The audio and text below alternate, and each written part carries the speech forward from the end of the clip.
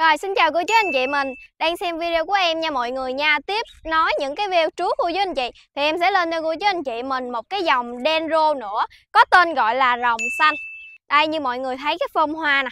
Phơm hoa thì dạng là phơm hoa nhỏ, phơm hoa trung thôi mọi người ha Nhưng mà màu sắc cực kỳ nổi bật luôn. Màu xanh, lưỡi có những cái đường gân trắng nè mọi người Hoa vô cùng thơm.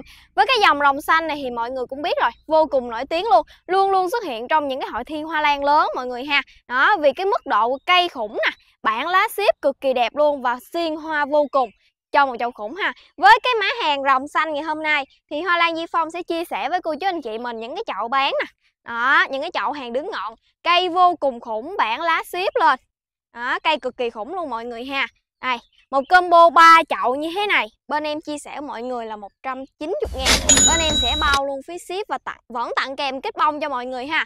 Ngoài ra, bên Hoa Lan Di Phong còn muốn chia sẻ của anh chị mình Chung một cái lô rồng xanh này luôn, Nhưng mà hàng cây là hàng vòi nụ.